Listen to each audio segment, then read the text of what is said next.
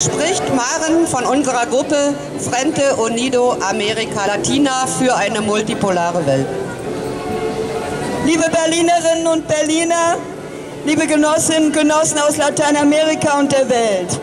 Heute möchte ich aus zwei Texten aus der Online-Zeitung RT Deutsch zitieren und sie kommentieren.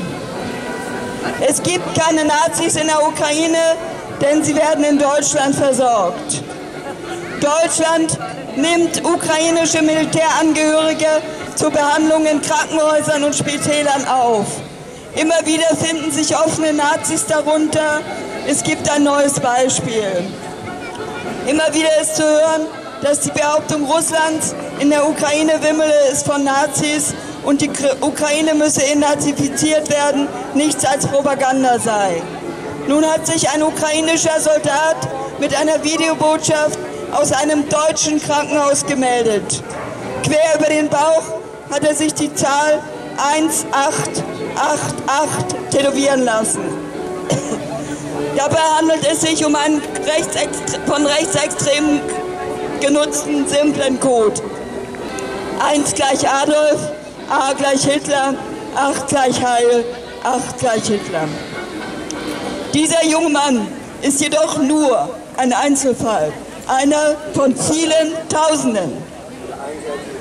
Und ein zweiter Artikel aus RT, ein Neonazismus unserer Kerle, Europa singt Oden über Bandera und Azov. Übersetzt aus dem Russischen, der Artikel ist am 29.07.2023 auf RIA.ru erschienen. Während in Europa selbst eigentlich jeder Narzissmus und sogar jeder Nationalismus, wie etwa der korsische oder baskische, verpönt sind, applaudiert man dort plötzlich dem ethnischen Hass von Ukrainern gegen Russen und sogar deren systematische Ermordung. Wie sonst ist diese Doppelzüngigkeit zu erklären, wenn nicht mit dem Wunsch, Russen und ganz Russland zu vernichten und ausrauben zu wollen? Es wird klargestellt, dass jeder Hass auf Russland ein äußerst nützlicher Faktor sei, weil er dazu beiträgt, eine Nation zu formen. Und es stellt sich heraus, dass dieser Hass sogar über viele Jahrzehnte hinweg sorgfältig kultiviert wurde, indem etwa die Aktivitäten der OUN-UPA, Klammer auf, Ukrainische Aufständige Armee der Organisation ukrainischer Nationalisten, während der Naziherrschaft, Klammer zu, verherrlicht wurden.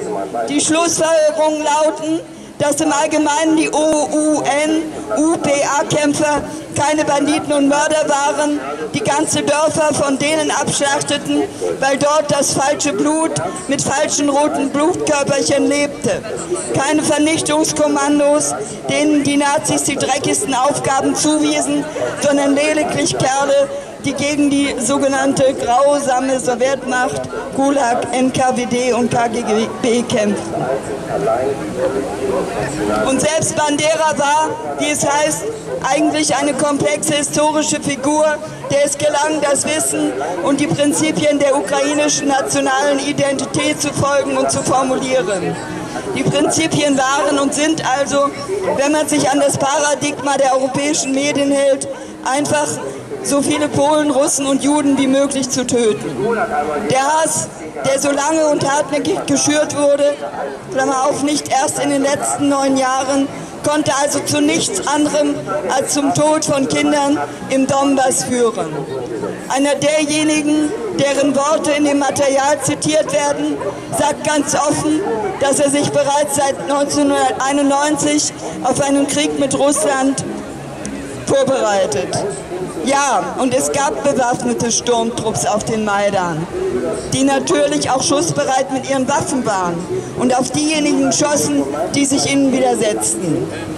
Und dieser Satz steht sinngemäß in dem Artikel nicht etwa in Anführungszeichen, sodass wir davon ausgehen, dass damit der erste Nagel in den Sarg von, von dem Mythos unbewaffneter Jugendlicher und friedlich, friedlicher Protestierer geschlagen wurde. Heutzutage sind die europäischen Medien nicht schüchtern, wenn es um solche Details geht. Als Russland vor neun Jahren genau das Gleiche erzählte, wurde es als Kreml-Propaganda bezeichnet. Heute weigern sich viele Europäer in den Tätowierungen des rechten Sektors und des Azov-Regiments Hakenkreuze, Embleme, die Standarten von Hitlers Division erkennen zu wollen. Heute propagieren die europäischen Medien sogar aktiv die Behauptung, dass der ukrainische Nationalismus gar nichts mit Narzissmus zu tun habe. Die Europäer sind keine Idioten und verstehen, wohin Legenden über reines Blut und das Zählen der roten Blutkörperchen führen können. Aber in einem Krieg gegen Russland, in dem die Ukraine als Rambock fungiert, um einerseits Russland zu vernichten und andererseits den Wohlstand der goldenen halben Milliarde weiterzusichern, sind alle Mittel recht. Es ist klar, warum es immer mehr Veröffentlichungen dieser Art geben wird. Es ist notwendig, die Ausgaben für den militärisch-industriellen Komplex zu rechtfertigen und den Europäern beizubringen, dass Waffen für Kiew wichtiger sind als Lebensmittel in ihrem Kühlschrank. Es ist auch klar, dass zehn Jahre vergehen werden und die Europäer dann erkennen müssen, dass sie unter anderem dazu beigetragen haben, den Hass auf Russen zu kultivieren. Eines bleibt unklar, warum die Europäer die schreckliche und blutige Lektion des Narzissmus nicht bis zum Ende gelernt haben. Vielleicht, weil der Tod russischer Kinder für sie keine Rolle spielte und immer noch spielt. Für sie sind wir, gemeint sind die Russen, weil das ist ein Artikel aus von russischer Seite, sind wir eine Masse, keine Nation. Ich möchte diese Schlussfolgerung ergänzen, denn sie ist zum Teil zu kurz gefasst. Und dazu noch einmal auf die Rede von Georgi Dimitrov am 2. August 1935 auf dem 7. Weltkongress der Kommunistischen Internationale hinweisen. Und ich hoffe, ihr erlaubt mir noch mal daraus zu zitieren.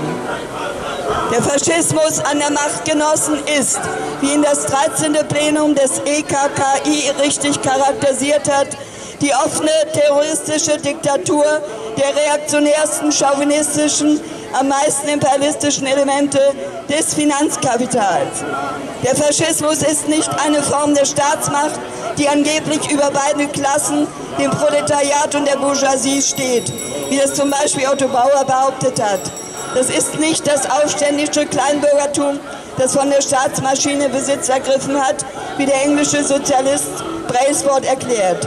Nein, der Faschismus ist keine über den Klassen stehende Macht und keine Macht des Kleinbürgertums oder des Lumpenproletariats über das Finanzkapital. Der Faschismus ist die Macht des Finanzkapitals selbst. Das ist die Organisierung der terroristischen Abrechnung mit der Arbeiterklasse und dem revolutionären Teil der Bauernschaft und der Intelligenz. Der Faschismus in der Außenpolitik ist der Chauvinismus in seiner brutalsten Form, der einen tierischen Hass gegen andere Völker kultiviert. Dieser wirkliche Charakter des Faschismus muss besonders stark unterstrichen werden, weil der Deckmantel der sozialen Demagogie dem Faschismus die Möglichkeit gegeben hat, in einer Reihe von Ländern die durch die Krise aus ihrem Geleise geworfenen Massen des Kleinbürgertums und sogar manche Teile der rückständigsten Schichten des Proletariats mitzureißen, die niemals dem Faschismus gefolgt werden, wenn sie einen wirklichen krassen Charakter, seine wirkliche Natur begriffen hätten. Zitat Ende Dimitrov. Es ist eben nicht nur der Hass auf Russland und auf alles Russische. Nur den Klassencharakter des Faschismus zu verstehen, hilft ihn zu besiegen. Deutsche sogenannte Antifaschisten haben das bis heute nicht verstanden. Das Bewusstsein zu stärken muss eine unserer wichtigsten Aufgaben sein. Griechische Antifaschisten haben selbst genauso wie viele Antifaschisten in Lateinamerika offenbar ein besser entwickeltes Bewusstsein. Beim Fußballspiel von Aris Thessaloniki in Griechenland gegen Dynamo Kiew aus der Ukraine zeigten die Fans von Aris das Transparent Smash äh, Azov Nazis. Nieder mit den Azov Nazis. Und hängten außerdem Transparente mit antifaschistischen Slogans auf. Nach meiner Information hat Aris Thessaloniki das Spiel gewonnen. Smirt Faschisten, Tod dem Faschismus, Murte al Fascismo, stoppt die Waffenlieferung an die Ukraine, hoch die internationale Solidarität der Völker, El pueblo unido jamás será vencido. Venceremos. Danke, Maren, für deinen Beitrag. Ich möchte mal einen kurzen Satz zum Niger sagen, nur einen. Die französischen Frauen haben sich heute bei der Frauen-WM verabschiedet. Also können wir doch auch fordern, Frankreich, die Frauen sind raus, Frankreich raus aus Niger.